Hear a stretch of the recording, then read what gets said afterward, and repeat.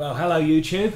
Welcome to my second video of the Akai GX625, which has now been cleaned, serviced, and um, calibrated for RMG SM911 tape.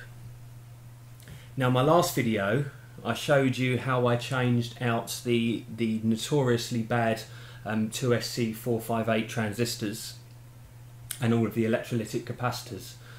Now there was nothing wrong with the machine when I bought it in December last year. It came from a, a, a smoker's home and it, it just really needed servicing. The um, the record level in particular was very crackly, so um, I needed to take the, the preamp PCB board out to properly clean the potentiometer.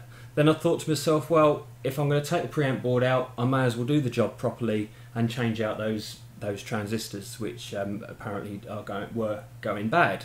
Now, once I'd done the job and changed the capacitors as well, and put the machine back together, calibrated it, and took it back down to my hi-fi room and, and, and had a listen to it, I was absolutely amazed by the quality of its own recordings and playback. Absolutely superb. So it just goes to show the transistors inside, although there was no actual fault on the machine, there was no noise on, on playback at all.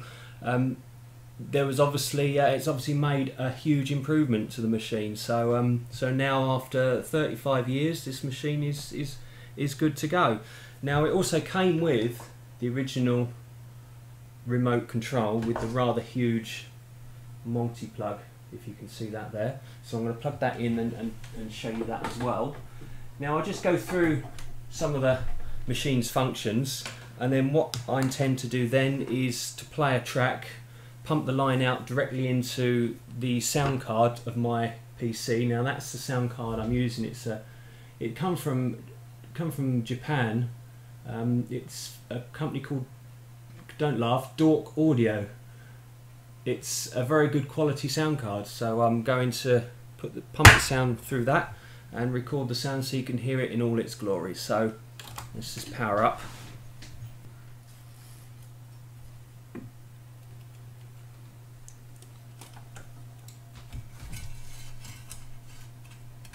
Always difficult threading tape in front of the camera.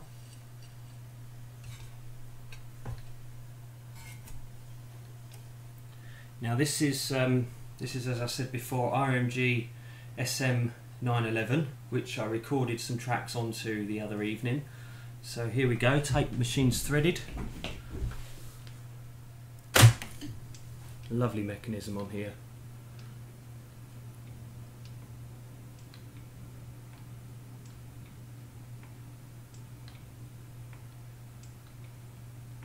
I did leave a huge gap.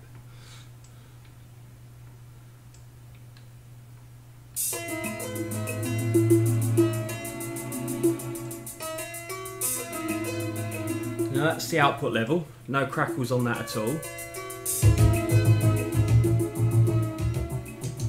All the illuminations on the controls are all working fine. Tape counter and the real-time counter all working. This machine also gives you a pitch control for playback as well if um, something's been recorded slightly too fast or too slow on another machine. You can correct that there. That's completely disabled during during recording. But it's a it's a mighty fine machine.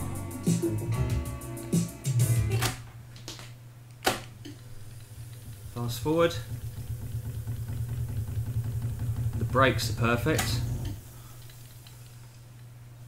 Rewind.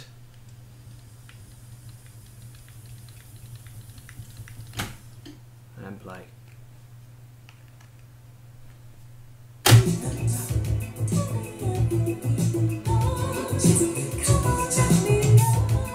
Now if I zero the counter, set that move on a bit. Let's just take it forwards.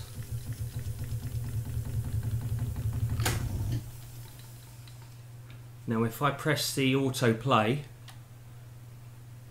and then press rewind, that will rewind to the zero point and then automatically play. You've got the same function at the stop if you want it to, or it will carry on repeating that until you till you till you interrupt it.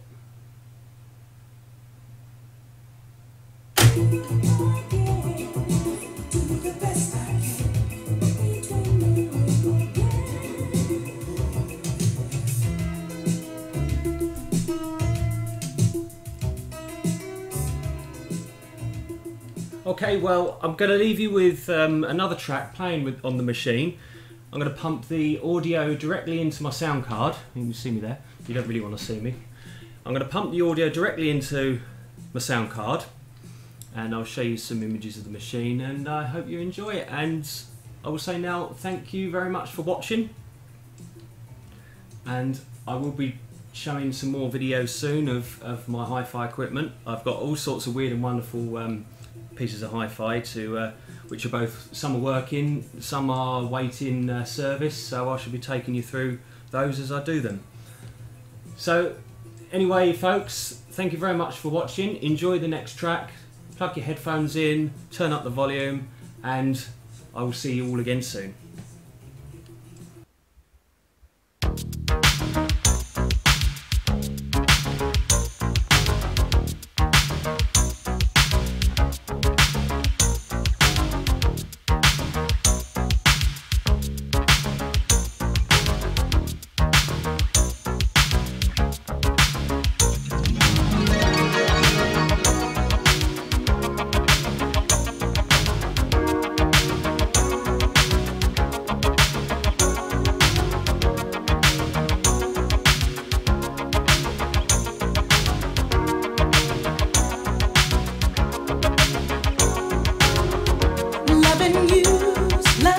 Feel